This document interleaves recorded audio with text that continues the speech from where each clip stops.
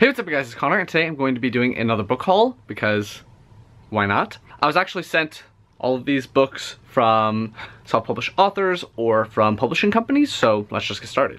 The first one was sent by Aladdin, which is an imprint of Simon & Schuster. They sent me Keeper of Lost Cities by Shannon Messenger. They also sent me a little personalized note, which was very sweet of them. Thank you guys. So basically, this is Aladdin's most popular series or one of their most popular series and I think the last book or something just came out. I know I saw some sponsored videos from other people. This is not sponsored. I've actually already read this book. I wasn't a huge fan, so I'm not gonna keep it. I'm actually going to put it in my little free library, free little library. I can never remember which way it goes, and someone else can pick it up and enjoy it. This one is about this girl, what is her name? Sophie, at the beginning of the book, she can hear everyone's thoughts and she can hear her family's thoughts. And their family kind of thinks poorly about her sometimes and that obviously affects her. She then finds out that there's a reason why she can hear everyone's thoughts and basically she finds out she's an elf and then she goes off to elven society and is figuring out what is up with all of that and people are not happy that she has been found or whatever so drama.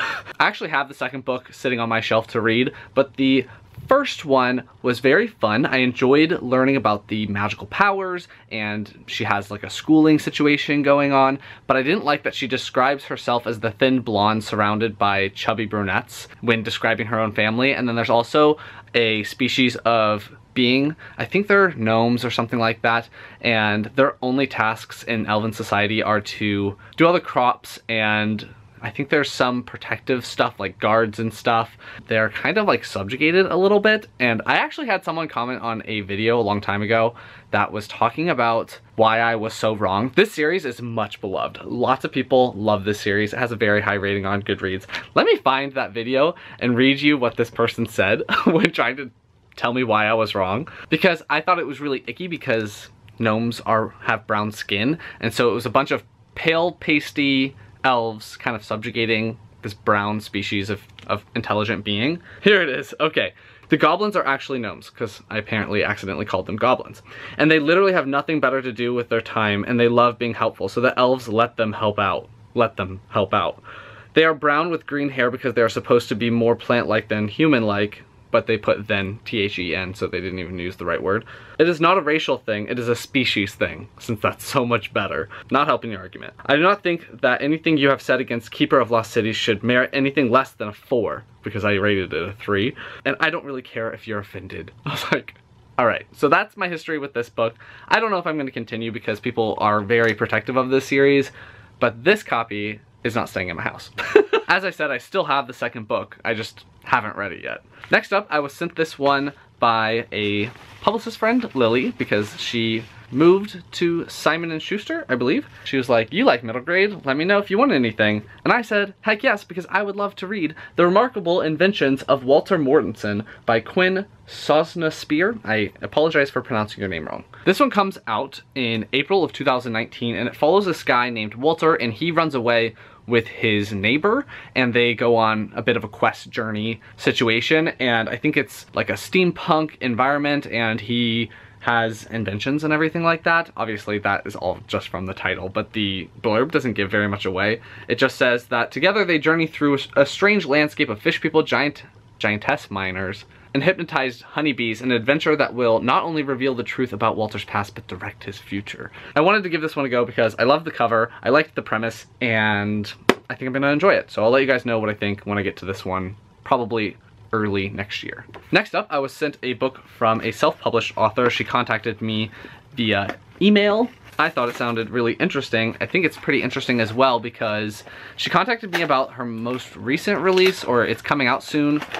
Oh my gosh, I cannot open it. And the things that are already set in this world are middle grade novels, but she contacted me about the adult one. I accepted it, and if I love it, maybe I'll read the middle grade that's set in this world. I was sent The Sword of Kaigen by M.L. Wang, which is a Theonite, Theonite, war story. Better to die sharp in war than rust through a time of peace.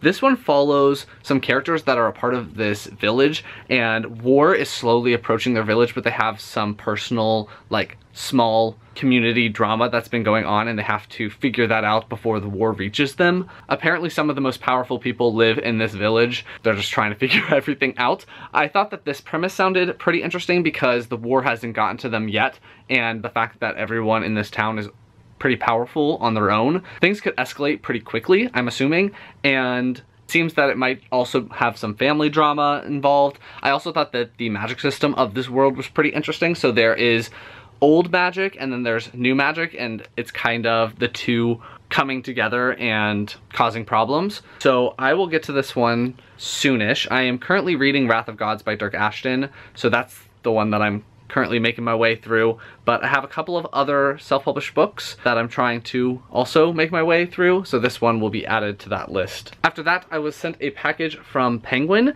This is A Brave New World, Unimaginable Dangers, The Peculiars are coming back to America. And this one, I guess, is gonna have the fourth book in the Peculiar series.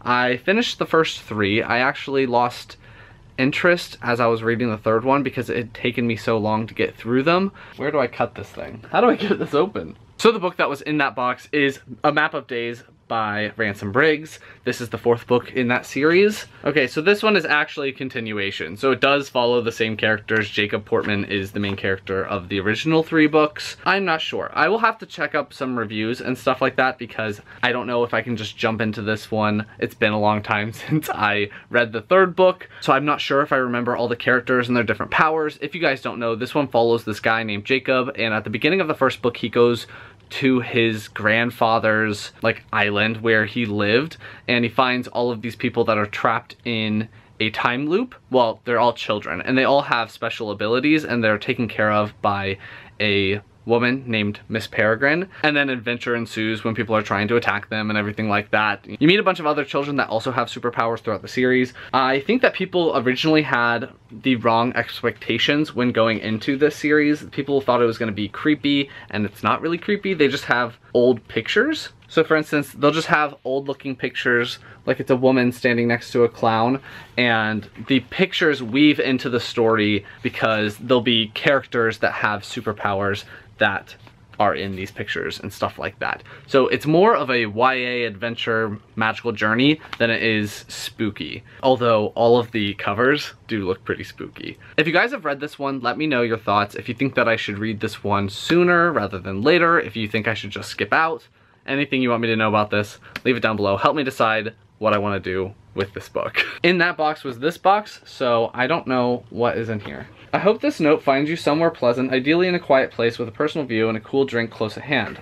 I do need a drink. In the meantime, enjoy this limited edition Viewmaster. It's pretty cool. Yours sincerely, Ransom Riggs. So this is actually one of those things that we had when we were kids, and you hold it up and then you like move this thing and it changes the picture, although this is kind of messed up. Let's see if I can make you guys see it. There it is. And so you can just pull the thing down and it changes the image. That's the one that was in the book. So that's pretty fun. Thank you guys. So now I'm actually a little more motivated to, to, actually read that book. Again, let me know if I should continue or not. We'll see. Just let me know. I don't know. And the last books that were sent to me were sent to me by Tor. This is the I Love Fearless Women box. I haven't looked inside yet. Ooh. So there's a big Victoria Schwab tote bag that says, I'm not a effing sidekick. That's awesome. That's really funny. I like that. And then they have a candle, a Fearless Women candle. I'm gonna check what it smells like in a second, but I just wanted to show you guys that they wrapped them in rainbow colors, which is amazing. And then they sent a booklet that I assume has, yeah, has all the authors in there. There's Victoria Schwab, as well as some information about the books. And they also sent another Fearless Women pen I can't tell what that smells like. It almost smells a little bit like coffee. That's what I'm gonna go with. It's some type of coffee. I'm not sure. I could be way wrong. Ooh, the first thing in here is one of those book things where you can put the book inside of the jacket. What's in here? It's a book bow and it protects your book when you put it in your bag and everything like that. I've actually been wanting to get one of these. Thank you guys. I'll actually use this. I'm actually leaving tomorrow to go to Mexico. I'm going because my family left me. They went to Hawaii and I couldn't go because of school, so uh, we're going to Mexico. And I can use this on the way so I don't damage the books that I'm currently reading. there are all of the books. I'm gonna start off with red and then we'll make our way to pink. So the first book that they sent me was Vengeful by V.E. Schwab. I think that they said, yeah, this one is signed, which is amazing. Thank you very much. I don't think I have any signed books by V.E. Schwab slash Victoria Schwab. So I'm going to be adding this one to my collection. They sent me a copy of this book already.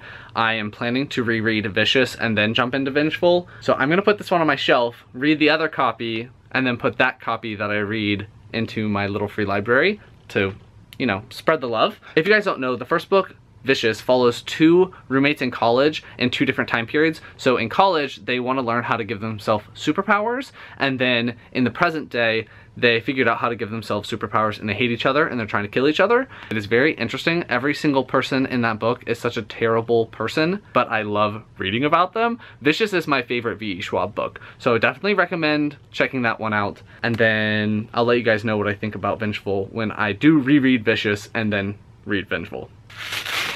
So this one is Tomorrow's Kin by Nancy Kress. This is book one of the Yesterday's Kin trilogy. So this one is about an alien landing that happens in the United States. Of course, it's always the United States. They land on a, a platform in the New York harbor and then the main character is invited along with the Secretary General of the UN to be the ambassadors to this alien race species. That sounds interesting. I haven't read too many alien books where like aliens come to Earth and then it's a huge mess. I'm curious to see how this one is. Next up is Yellow. So they sent me a copy of Updraft by Fran Wilde.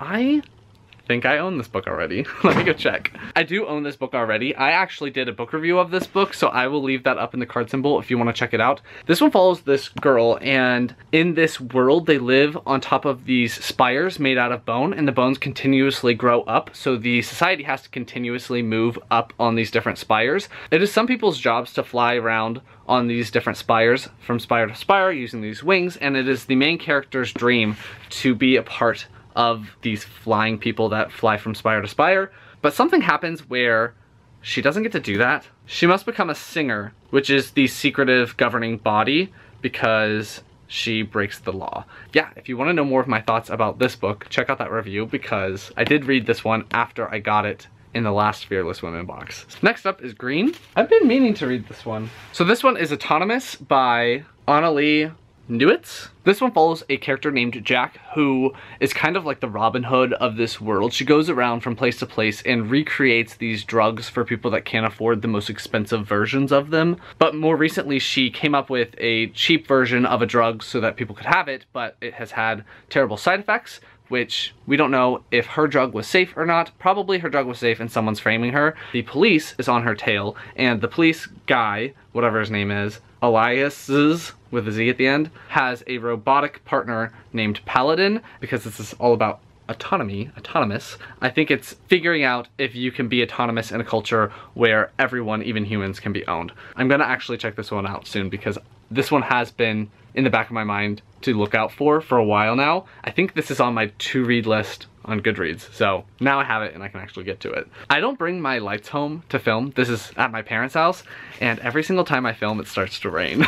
Next up is Blue. So they sent me The Phoenix Empress, which is the second book in Kay Arsenault Rivera's series. The first one is called The Tiger's Daughter. I actually have a copy of this book already, so I will be putting this one in my little free library as well. They sent me a copy of this one individually because I requested a copy of the first one a long time ago. I still have yet to read that one. That one is on my like highest priority TBR. It's at school with me. I'm hoping to get to it in between finals we'll see if that actually happens. But I do want to get to it before the end of the year, and then I want to check out this one. This one follows two warrior women who are fated to be together. They are like badass warrior women, but they're also trying to protect the world from an invasion of these evil beings. I don't want to read the back of this book because I don't want to spoil myself for the first book, but I've heard amazing things from people that I trust, and I cannot wait to get to it.